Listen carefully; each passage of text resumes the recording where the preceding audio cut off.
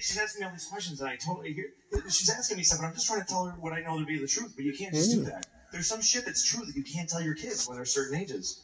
I know that sounds simple, but you, you don't know all the time until you fuck up. I'm talking to her. She goes, Daddy, does the Earth go around the sun? And I was like, Yeah. She goes, Does it do it all the time? Yeah. She says, Will the Earth always go around the sun forever? And I was like, Well, no. At some point, the sun's going to explode.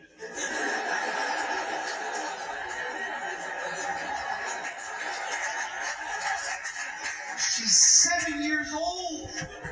You understand how horrible that is? She started crying immediately, crying bitter tears for the death of all humanity. And here's how I try to say it. I go, oh, honey, this isn't going to happen until you and everybody you know has been dead for a very long time.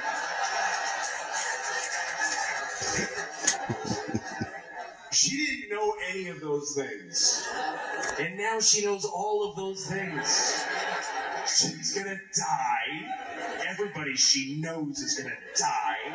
They're to be dead for a very long time. And then the sun's to explode.